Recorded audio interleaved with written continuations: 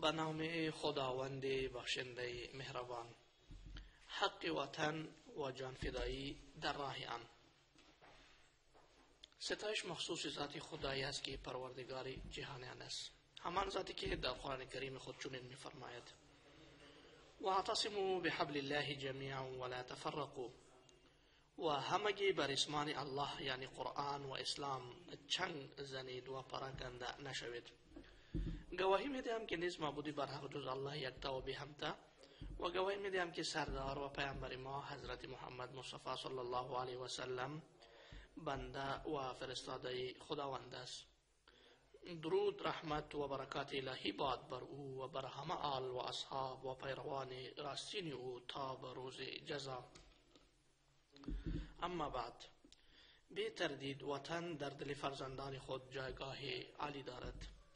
و تعلق با آن خلقتی است که نفس بشریت بر آن آفریده می شود امام اسمعی رحمه الله می گوید اگر خواستید وفای شخص و پیمانکاری را بدانید پس به محبت او نسبت به وطنش و اشتیاق او نسبت به برادرانش و گریانش نسبت به زمان گذشتهش بنگیرید محبت وطن و تعلق با آن واجب دینی است. بنابراین شریعت اسلامی به طور گسترده به تعلق بر وطن و کار و تلاش برای ترقی و تطور آن فراخوانده است.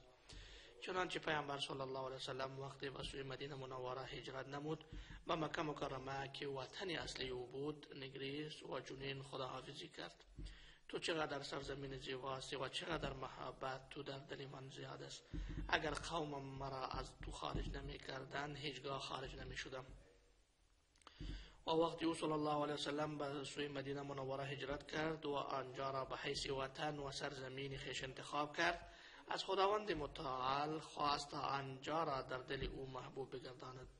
چنان فرمود پروردگار مدینه را نسبت ما با چنان محبوب بگردان که مکه برای ما محبوب است و یا بیشتر از آن. بنابراین محبت وطن واجه های نیست که گفته شود و یا شعار نیست که بلند گردد بلکه رفتار و فداکاری همه داشته های ارزشمند انسان است.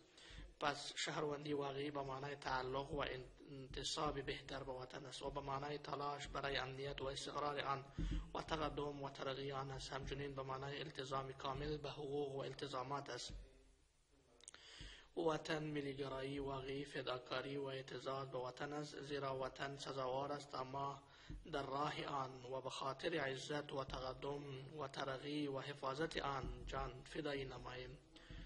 مهمترین حق وطن جان فدایی در راه آن است بدون تردید فدا کردن در جان فدا کردن جان در راه وطن علی ترین مرتبه فداکاری می باشد چنانچه خداوند متعال فرموده است من المؤمنین رجال صدقوا ما عهد الله عليه فمنهم من قضى نحبه ومنهم من ينتظر وما بدلوا تبدیلا.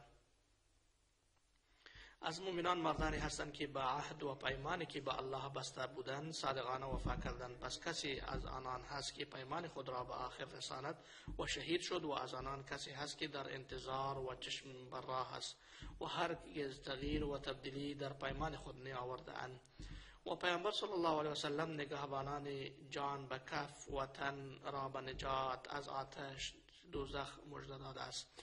چنانچه فرموده است دو چشم را آتش دوزخ لمس نمی کند چشمی که از خوف الله گریه می کند و چشمی که در راه الله برای حراست وطن بیدار می ماند بنابراین که اصحاب این اصحاب این فداکاری از مسلمانان برگزیده الله متعال باشند و همیشه در همراهی پیامبران و صدیقان و صالحان قرار گیرد.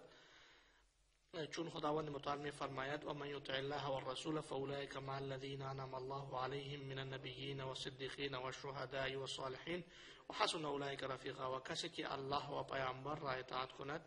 روز قیامت هم نشین کسانی خواهد بود که الله بر آنان انعام نموده است از پیامبران و صدیقان و شهدا و صالحان. و اینان چه نیکو رفیقانی هستند؟ ستایش مخصوص ذات الله پروردگار است که پروردگار جهانیان است درود، سلام بر خاتم پیامبران حضرت محمد مصطفی صلی الله علیه و سلم و بر همه آل و اصحاب و پیروان راسین او باد از حقوق وطن بر فرزندانش این است که باید هرگاه مصلحت وطن تقاضا کرد، پیاده و سواره در راه ترقی و تعالی آن بشتابند چون بر آنها واجب است تا جان و روح و خونشان را در صورت نیاز برای وطن فدا نماید. زیرا اشتراک مثبت آنها در هر آنچه که منفعت وطن تقاضا می کند در باب تعلق به وطن و محبت آن و اخلاص برای آن از ضعیفترین درجه ایمان است. مالیات وطن را یک نسل و یا تنها برخی از فرزندان آن نمی پردازند بلکه این روند مشارکتی همگانی است که میان همه نسل های آن می باشد و از مهمترین حقوق وطن تلاش و کار و اتقان است. پیامبر صلی الله فرموده است خداوند متعال دوست می دارد وقتی یکی از شما کاری را انجام می دهد آن را با اتقان و تخصصی انجام می دهد و برخی دیگری از حقوق آن وفادار بودن به التزامات شغلی از زیر وظیفه عمومی امانت و مسئولیت است.